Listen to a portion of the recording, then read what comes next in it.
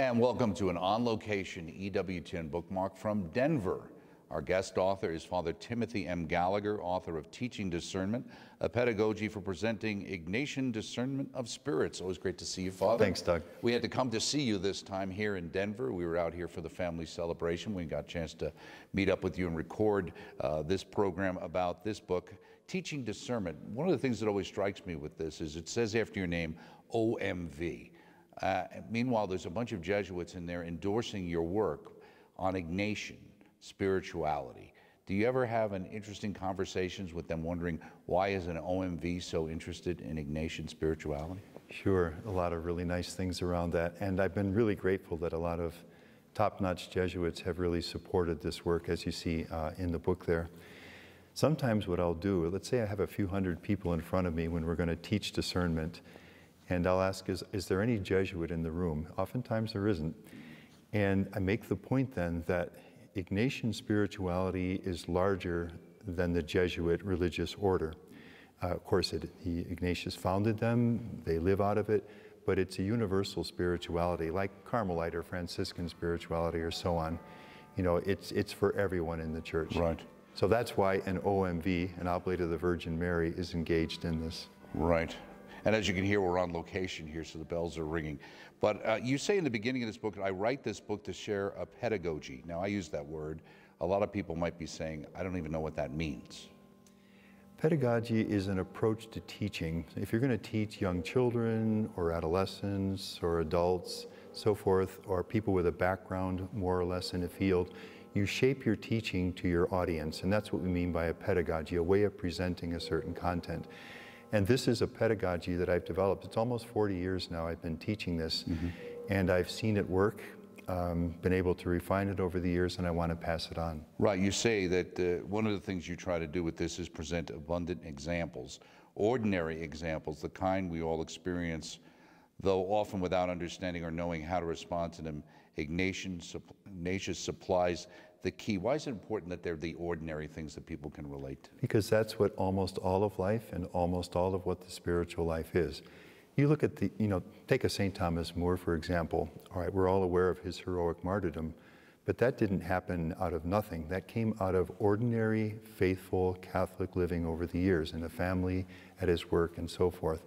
So for most of us, for example, getting up in the morning and maybe you feel discouraged, I don't know, you're going to get the report from the doctor, or there's something at work that's hang on, hanging on you, or your conversation with your teenage college daughter just didn't go that well mm-hmm. yesterday, or whatever it might be.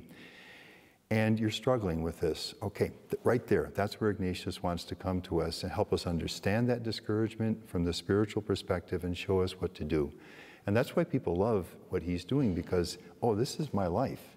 And finally, now someone's bringing light to these daily things that I'm always experiencing. Right. You talk about with Ignatius's help, people can then perceive more clearly in what is of God and what is not of God, which is really what so many people are confused by, trying to figure out how do I really discern, quote unquote, God's will in my life. But you talk about something called being doubly free. What's that mean? Free from and free for. So, freed from the discouraging lies of the evil one, whom Ignatius speaks of as the mm-hmm. enemy most commonly so that's just the classic triad the world, the flesh, and the devil. Harmful influences which can discourage us and lead us astray. And oftentimes we feel enveloped by this, we don't know what to do with it. Ignatius brings light, clarity, and practical tools. So that's the freedom from, which is really the prelude for the more important freedom for, and that is the freedom to hear God's voice, to say yes to God's love, to live a life of holiness, to pursue the Lord in our vocations. Now, what's different about this book is it's not just talking about it. You say it offers a blueprint for this teaching because you say once people learn of it, they want to share it. That's what generally happens. When what, what I'll hear over and over again from people is, depending on the age of the person, maybe we finish the teaching, they'll say, I wish I'd known this 10 years ago, 20 years ago, 50 years ago. And I love that actually when I hear that because it means it's really sinking in. People see the value of it. And then what happens is people want to share it. Everybody should know this. I, I hear this all the time. Well, this book hopefully provides a, an instrument for people who might feel this is valuable. I'd like to share it. I'm not an expert. I don't know what to do. Well, here's a book that'll show you. It's interesting you say that because so many times in in the real presence teaching as Mother did, or things like that, or the insights of the church from Scripture like a Father Mitch might have, or what you're talking about, Ignatian spirituality. So many people say, why didn't anybody tell me about this before? Well, there are lots of different answers to that, but I'd like to think that one of them is that this is really something new. I hope that doesn't sound too bold, but I think it's true. This pedagogy didn't exist before. I see. Elements of it did in scholarly books, but nobody had put them together and shaped them in a way that your, your everyday Catholic mm-hmm. could hear and say, oh, that's me. Now I see what that means. Now I know how to apply it. Again, that's why I think it was valuable to pass this on so that it'll be there. Is that why you did that book on the Liturgy of the Hours as well, that kind of approach? Well, that book really is uh, due to EWTN, mm. to tell you the truth, because I had written an earlier book just telling my own story of praying it over the years. And then out of that came one of these series with EWTN on applying the Liturgy of the Hours to the lay vocation. Right. And then EWTN asked me to make that a book. Right, because a lot of people are interested in that. You say in this book, because this is the third book you say I've written on the rules, uh, in this book I return to the 14 rules for the third time. The rules are the same, but the perspective is different. How so? Because in the other books, the perspective is the person learning the rules. In this book, the perspective is the person who wants to share them with other people. Now, you lay this book out in three parts. Why don't you go through what the three parts are? Well, if you're going to teach the rules, you need to be prepared. So, in the first part of the book, I explain the elements of the method and how a person would prepare for it, the different things you'd want to emphasize, and so forth. In the second part, we go through each of Ignatius' 14 rules, and I share the pedagogy I've developed, which I'm fairly confident works quite well now um, and put that in the hands of the prospective teacher. And, and, at the end, we deal with some resources and final questions. You mentioned the fact that if, if I share various examples and metaphors, uh, like the snowball at the top of the mountain, halfway down the mountainside, to illustrate Rule 12, that I find helpful in presenting the rules, you can use these examples or make up your own. Well, what if somebody makes up one that actually isn't appropriate? Your audience will tell you. So the ones that I've developed, are really refined after, as I said, many years of teaching this. And some of them I've jettisoned along the way because they really don't work as well. The one with the snowball really does work. And what is it? Why don't you remind us what that All right, so this is Rule 12. Ignatius is letting people know that the key moment, the moment when it's easiest to resist the enemy's temptations, is right at the very beginning. Hmm. So, for example, here's a discouraged man at 10 o'clock in his room after a disheartening day. He normally picks up the Bible, reads for 10 minutes, makes an examination of conscience, but in front of the other hand on his desk is the smartphone, and something in him out of discouragement feels the pull toward the smartphone in a way that Ignatius would call low and earthly. And one touch can become 10, become 200. Mm-hmm. All right, when is it easiest to resist that or any parallel temptation? Ignatius says right at the very beginning. Mm-hmm. So the easiest time to resist it is before you even reach out to touch it if with God's grace and some courage, all right, that's stopping the snowball at the top of the mountain because we all know that the longer we dally with the temptation, the harder and harder it gets uh, to resist it. So, so I use that image. I say, here, here is a high mountain covered with snow. Here at the mountaintop, a snowball is just getting started. Mm-hmm. You can put out a finger and stop it. Nice. Let it get halfway down the mountainside, gaining mass and speed, it'll run you over. But that doesn't have to happen if we apply Rule 12. I see. Okay. Now, you mentioned that I very much desired to write this book. For how long have you very much desired? From the beginning, you felt this was needed, or is this something that just came to you over the last few years? Well, I'd say it's about 35, 38 years that I've been teaching these rules for discernment. It was only gradually that I began to realize that I had actually developed a pedagogy which at least in this form, uh, did not exist and that was valuable. And as over the years I began watching it make such a difference in people's lives, um, that I realized uh, this is something that really should be passed on. So I can't give you an exact right. year, but I would say maybe 25, 30 years into the teaching, I would begin to realize this should be passed on. I think one of the things, and you and you re-go through the, through the rules in the beginning, uh, and you talk about somebody trying to move from mortal uh, going from mortal sin to mortal sin. The enemy is ordinarily accustomed to propose apparent pleasures to keep you there. But then the second rule is in persons who are going on trying to purify their sins and rising from good to better in the service of the Lord, the method is contrary to that in the first rule.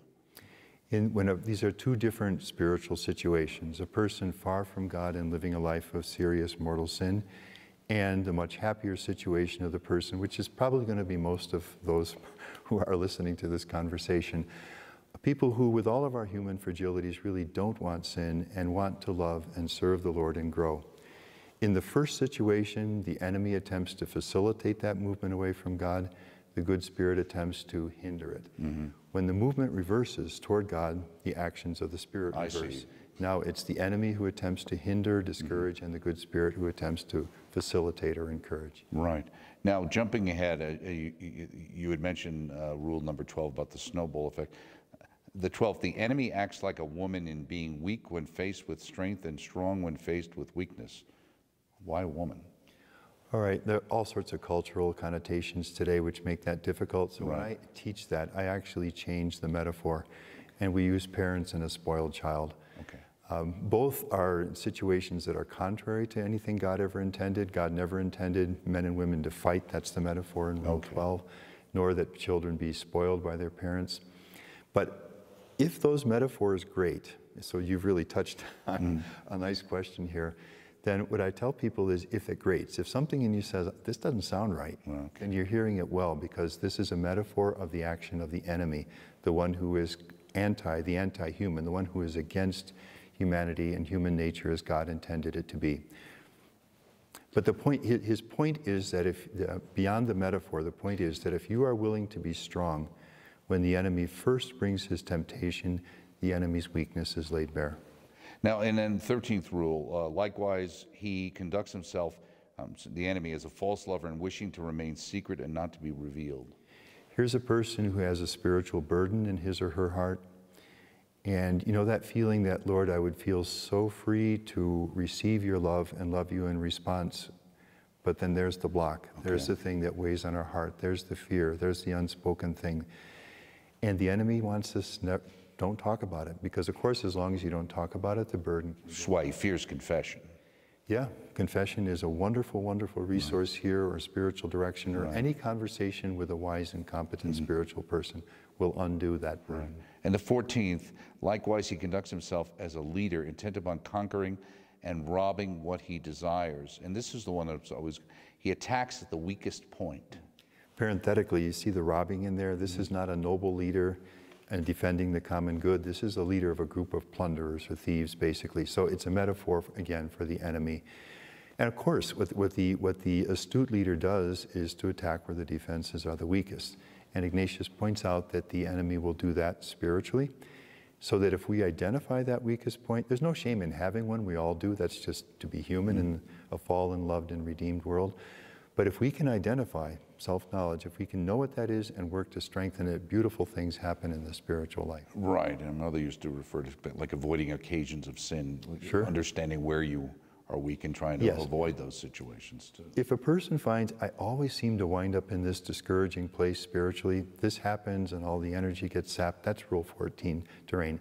If we can come with all the tools are given mm-hmm. to understand why that's happening, what the weak point is, and work to use the tools to strengthen it, as I say, wonderful things happen.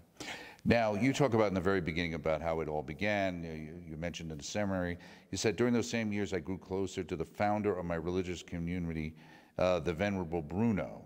And, and then as I learned more about him, I increased, perceived his love and esteem for the Ignatian spiritual exercise. So is that one of the connections for you then? Yeah, I'd say it's the key one. I mean, just personally, I fell in love with them when I made them myself but it was very much in harmony with our founder. In fact, I did my, um, my doctoral thesis on that very question of the place of the spiritual exercises in Venerable Bruno's life and mm-hmm. the work he gave us, and it was the central part. So to get back to your earlier question, that's why an oblate of the Virgin Mary right. is, is dealing with Ignatian things because that's the heart of what our founder wanted us to do in the church. Okay. You also said, I remember, this is after the spiritual exercises you went through, you say, for the month, uh, I said to myself, someone has finally taught me how to pray. Ignatius is ever practical. He's not writing a Summa Theologica like St. Thomas, he's writing spiritual exercises. So it's about doing things in the spiritual life. And so he gets very practical about all of this. That's what these rules are practical guidelines, teachings on how to pray.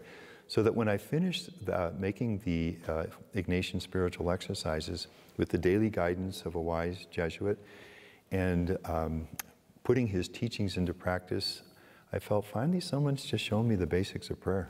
It was beautiful.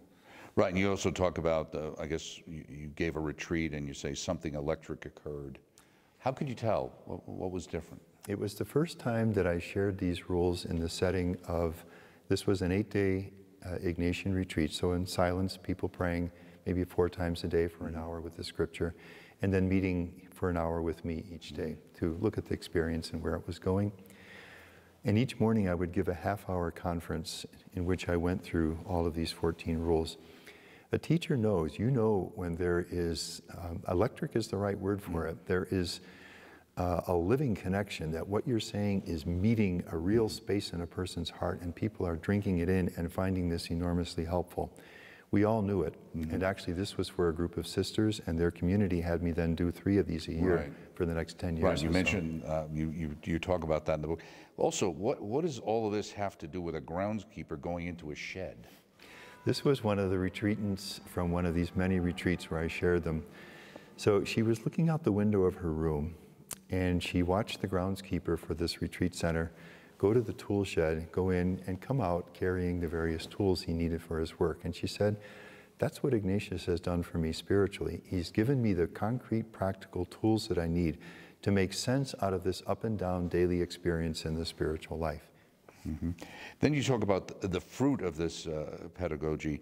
All people of faith who seek to love Jesus experience the spiritual ups and downs Ignatius describes in his rules. At times, they find themselves full of spiritual energy. God feels close, and they feel his sense of love. At other times, and for reasons they do not always understand, their spiritual energy seems to disappear. I would say that in, as I said, the almost 40 years that I've taught these rules, I have never once and this is people of all educational backgrounds, ethnic, cultural, various countries. I have never once had one person say to me, I don't know what you're talking about. Mm-hmm. I don't know what, it, because this is just, we all know that there are times of spiritual energy. Prayer is alive. We have energy to live our faith in times of discouragement when it's hard to even want to pray and so forth. These ups and downs are just ordinary, normal experience. And that's what Ignatius addresses. Right. And, and that's why you have this comment. It's so wonderful to know that I'm not the only one. Oh, people love that. Yeah, yeah, people love that because so many of us feel ashamed of being discouraged in the spiritual life, or days when it's hard to even keep your mind on your prayer, or maybe to even want to go to daily mass, if I may say that reverently, mm-hmm. or when mm-hmm. you're there distracted and people feel ashamed. It isn't just you, it's every one of us, it's all the saints, it's there in Therese, Ignatius, all of them. Mm. And to know that we're part of a large family living a normal spiritual experience and there's a way to understand it and respond to it is enormously encouraging. That's the, really the key reason why I love teaching this, mm-hmm. because it engenders hope in people. And not just uh, an emotional hope for a moment, like in a little emotional mm-hmm. high. The hope that comes from, now I understand, now I know what to do. Right. The next time it happens. And you know, I would say, Doug, this is getting more and more contemporary as there are unfortunately, there are so many reasons now as we look at the culture of the world mm-hmm. and even the sufferings of our church, there are, right. are reasons to be discouraged. A teaching which helps people understand that discouragement and shows them how to overcome it is getting really important. Now, when talking about the teaching, you say teach the text. Yes, this seems like a very basic thing, mm-hmm. but as I uh, got into this, I realized the best way to break open for people what Ignatius says is to actually use his own words. Mm-hmm. That may seem like such an obvious thing, but uh, it's not always the case. So when you get close to his own words, a couple things happen. One is you respect his own choices. You're on target. You're not getting uh, caught in tangents here or there. You don't get into things that are too confusing for people. He is fundamental, simple, clear, essential in what he says. And because you're commenting the words of a saint, you're never going to go too far wrong. Right. Well, you talk about uh, Ignatius lists four tactics of the enemy bite, sadden, place obstacles, and disquiet with false reasons. You say, uh, I note that the enemy does not immediately tempt one rising toward God with obvious sin, the last thing such a person would want at that time. The enemy does something different. He bites, strives to upset us, to interfere with our service of God, to strip away our peace of mind. Again, my listeners grasp the link between Ignatius' text and their lives. Sure, because that here's, here's a person who is in that second spiritual situation we talked about before, increasing freedom from sin. Maybe they've made a retreat or had a beautiful experience of prayer or read a book which has made a real difference or gone to some kind of um, large Catholic event or whatever it might be. There's new spiritual energy, uh, prayer is alive. The last thing this person wants is obvious sin. Mm-hmm. The enemy doesn't start there then. The enemy starts just by trying to sap the energy a bit. That's the bite, gnaw, mm-hmm. morder in the Spanish, just to try to diminish it a bit so the person will have a little less uh, energy to go forward. Now, if the person gives into that, the mm-hmm. enemy will come on with other things. But th- what Ignatius wants us to see is this is where the enemy will start. Mm-hmm. No shame in experiencing that. Be aware of it, name it for the tactic of the enemy that it, that it is, and firmly reject it. Right. In living the rules personally, you said, when we apply these rules in our own lives and so experience their wonderful fruit, we will teach them to others with greater energy, conviction, and enthusiasm because we experience ourselves how the rules apply in daily spiritual experience. We will help our listeners make the connection as well. Yes, you can really only share what you have. You know, no one gives what he does not have. So if you want to teach these to other people, you really need to be trying to live them in your own life, which is a, a, happy invitation because of the difference they'll make in your own life. And that's why you'll speak about them with such conviction to others because mm-hmm. you know in your own experience the difference. How it works. In the second part, you, you get into kind of teaching the rules. And one of the things you talk about emphasizing grace is key to fruitful presentation of the rules. And I cannot emphasize it enough. When I teach the rules, I continually emphasize God's grace. Why? This is a spirituality of redemption, of hope, of grace. Yes, Ignatius is speaking about the enemy's tactics, discouraging lies, the biting, and all these different things that we've just rapidly mm-hmm. mentioned. But that's not the essential focus. The essential centerpiece of all of this is that God has won the victory. Mm-hmm. Redemption is real. Grace is with you. Mm-hmm. And that's why this is a spirituality of hope. So we look at the enemy's tactics so that we can see them clearly, so that we can reject them. But above all, we're looking at the love of the Lord, which is always with us. I thought it was interesting, too, that reverence, reverence is another important point. Absolutely key, because when people hear this teaching, or if you are the teacher sharing it, you're touching very deeply sensitive places in people's hearts. And so you, you, you don't bulldoze into those. It's like Jesus, who has such reverence. You know, the man who is timid, he lets him come at night. Mary, who is uh, Magdalene, who is suffering so much on the morning of the Easter, just says her name and so forth. Mm-hmm. Jesus is so reverent and sensitive to the hurt places in human hearts. When you do this, when you image in your own teaching Jesus' own reverence for the hurt in human hearts, people expand, they mm-hmm. open up, they'll let the teaching in and then really beautiful things happen. Now, you also mentioned the idea here in of talking about respect for questions. I thought that was interesting. When people find that uh, people are timid, this is new terrain for a lot of people, but they have questions. Mm. And when they find that you, as a teacher, listen with respect, with reverence to the question, uh, affirm its goodness, and then treat it with, with respect and, and reply to it. What it does is it encourages that person and everyone else in the, the audience to, to say, well, we can ask questions too. Right, and, feel and then a lot of wonderful things come out. Right, everybody does, nobody wants to be embarrassed by no. thinking they're the only one who doesn't understand, no, I, right? I would never want to do that. Now, the enemy, you say, I employed the word enemy by conscious choice. I find that it serves the teaching well. Years ago, I began presenting the word, you were using the evil one, uh, evil one's tactics on one occasion, a woman told me that the constant repetition of the word evil was unsettling for her. All right, so just to be clear, when Ignatius uses the word enemy or bad spirit or evil spirit and so forth, or bad angel, what he means, uh, as I mentioned earlier, is the classic triad the world, the flesh, and the mm-hmm. devil. So it's Satan and his associated fallen angels. It's uh, concupiscence as a legacy of original sin and harmful influences around us in the world. So that word enemy is just uh, solidly represents the church's classic understanding. But it's a good word for two reasons. One, because it's a little less invasive, I would say, mm-hmm. than the constant repetition of the word evil. Mm-hmm. And secondly, because it's exactly on target. What we are identifying here is the one who is inimical to, hostile to, set against where God wants things to go in our lives. So I find the term works well, and it's the one that, if you want to get numerical about it, Ignatius uses most frequently. I, I see.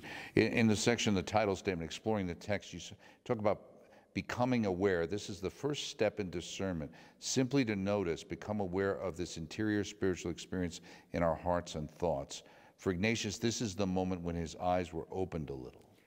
All right, let's do this. Uh, let me ask both of us in this conversation and anyone listening what was in your heart and thoughts as you awoke this morning? Did you even notice? What about last week? What about the last year? What's been going on? Right, this is, this is where it starts, is just to begin to notice the spiritual experience that is always going on in the stirrings of our hearts and in their related thoughts. That's where it all starts. And that's where it started for Ignatius in that dramatic moment, of, well, quiet but powerful moment of conversion when suddenly he realized there is spiritual experience going on in my heart and in my thoughts, and that was the beginning. Right, and you have this paradigm be aware, understand, take action. That's the heart of the whole thing. What, if and someone says, What is discernment of spirits? The answer is very simple. Simple. I mean, living it is life, but it is a spiritual action, or if we want to use Ignatius' own word, a spiritual exercise that invites us to be aware of, to notice the spiritual experience that's always going on in our hearts and our thoughts, work with it with the tools our tradition supplies to, until we understand what's of God and not of God in it, and then take action accordingly. If it's of God, accept it, put it into practice. If it's of the enemy, firmly reject it so that it can never harm us. So, what are you working on next? The next book will be a short one for priests applying this teaching to parish life. Well, thank you so much, Father Gallagher. Always a pleasure speaking with you. Great to see you again. Keep up your wonderful work and keep churning out the books. We'll have you on bookmark in the wonderful series you've done for us over the years.